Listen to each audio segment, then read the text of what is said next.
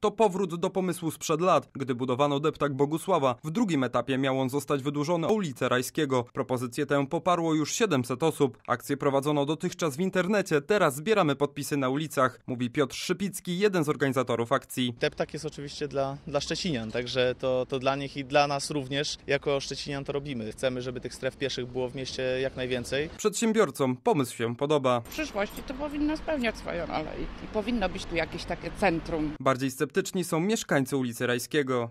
Nie byłabym za tym. Nie za bardzo. Nie będę miała przyjazdu.